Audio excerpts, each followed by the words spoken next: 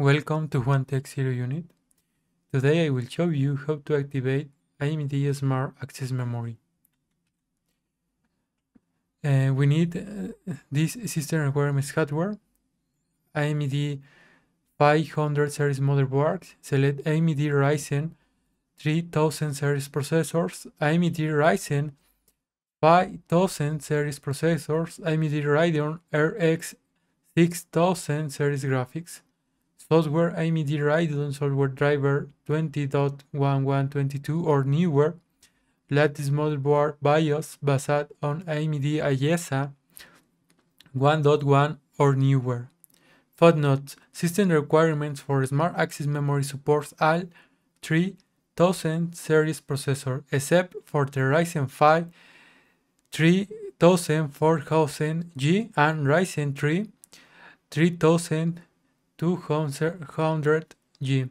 AMD Smart Access Memory is only support of AMD Radeon RX 6000 series graphics cards, not validate on any other graphic solutions, okay? So is RX 6000 or better? Uh, how to enable? Well, we the first step is enter the system BIOS. This is typical done be version the the DEL or F12K during system startup. Navigate to advanced settings or advanced menu. And next enable above 4G decoding and Re-Size BAR support shown above. So this is a screenshot of my BIOS. We need go to advanced modes. Let's go to settings and after that go to IO ports. Next, in IO ports we need enable both of these technologies above 4G decoding and Re-Size BAR support. Both is enabled, okay?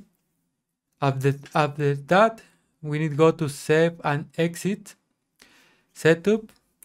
And we need only confirming the save configuration and reset present in yes.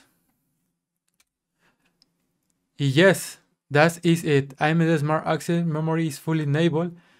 It's so really, really easy. Have a nice day or night.